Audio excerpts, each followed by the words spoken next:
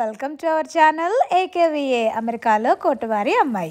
ఈరోజు నేను restaurant style boneless chicken curry prepare చేస్తున్నాను. సో నేను ఎలా చేస్తానా అనేది మీరు చూసేద్దరు కానీ కమ్మని చికెన్ కర్రీ అండి. బోన్లెస్ లేట్ చేయకుండా వీడియోలోకి వెళ్ళిపోదాం.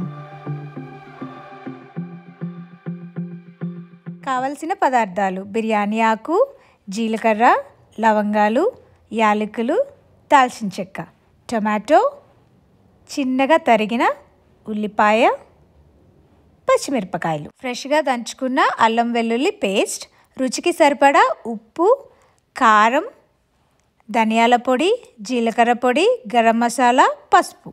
చిన్న చిన్న ముక్కలుగా తరుక్కున్న బోన్లెస్ చికెన్. ఇప్పుడు ఒక మిక్సీ జార్లో టమాటో పచ్చిమిరపకాయలు వేసుకొని మిక్సీ చేసుకోవాలి. ఇప్పుడు నేను చూపించేటట్లు. కావలసిన పదార్థాలన్నీ రెడీగా ఉన్నాయి. ఇక లేట్ చేయకుండా గుమగుమలాడే చికెన్ కర్రీ రెడీ చేసేద్దాం. ప్యాన్లో ఆయిల్ వేసుకొని ఆయిల్ వేడైన తర్వాత మసాలా దినుసులన్నీ వేసుకోవాలండి. తర్వాత పచ్చిమిరపకాయలు ఉల్లిపాయలు వేసుకొని అవి కొంచెం బ్రౌనిష్ కలర్ వచ్చే వరకు మనం వేయించుకోవాలి. నేను ముందు ఇంగ్రీడియంట్స్లో నేను మీకు కాజు చూపించడం మర్చిపోయాను. కాషూ నట్స్ని మనం మిల్క్లో తయారు చేసుకోవాలండి. ఈ బోన్లెస్ చికెన్ కర్రీ చేసుకోవడానికి చూడండి ఉల్లిపాయలు బాగా వేగిపోయాయి. అందులో ఇప్పుడు మనము అప్పుడే ఫ్రెష్గా తరుక్కున్న అల్లం వెల్లుల్లి పేస్ట్ వేసుకొని కొంచెం వేయించుకోవాలండి. ఆ తర్వాత రుచికి సరిపడా ఉప్పు కారం ధనియాల పొడి జీలకర్ర పొడి గరం మసాలా. అవి కూడా వేసుకొని బాగా కలపాలి.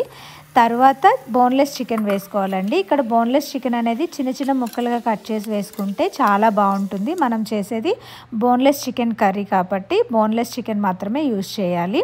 చూడండి బాగా వేగిపోయింది. ఇలా వేగిన తర్వాత వాటర్ బాగా ఇంకుతుంది కదండి. చికెన్ ఎప్పుడన్నా వండేటప్పుడు అలా వాటర్ అనేది మొత్తం ఇంకిపోవాలి. ఇంకిపోయిన తర్వాత మనం ముందుగా టొమాటో ప్యూరీ రెడీ చేసి పెట్టుకున్నాం కదా ఆ టొమాటో ప్యూరీ అనేది ఇప్పుడు మనం చికెన్ కర్రీలో వేసుకోవాలండి. ఆ తర్వాత మనం క్యాషోనట్స్ మిల్క్ తయారు చేసుకున్నాం కదా అది కూడా వేసుకొని ముక్కలకి బాగా పట్టేటట్లు కలుపుకోవాలండి. ఇప్పుడు నేను స్క్రీన్లో చూపించే విధంగా. ఒక పదిహేను నిమిషాల తర్వాత మూత తీసి చూసినట్లయితే ఇలా ఆయిల్ అనేది పైకి తేలుతుందండి.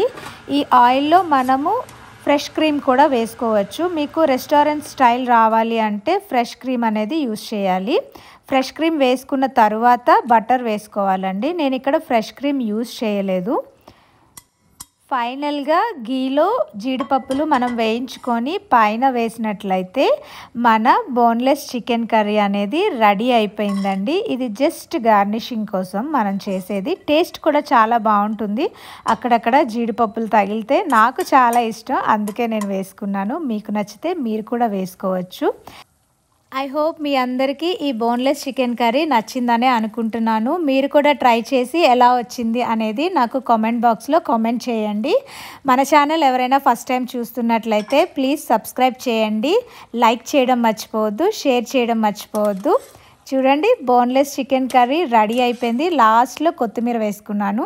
ఇంకా మీరు లేట్ చేయకుండా చకచకా చికెన్ తెచ్చేసుకొని చకచకా వండేసుకోండి. నేను మళ్ళీ మీకు ఇంకో వీడియోతో కలుస్తాను. అమెరికాలో కోటవారి అమ్మాయి A K V A thank you for watching bye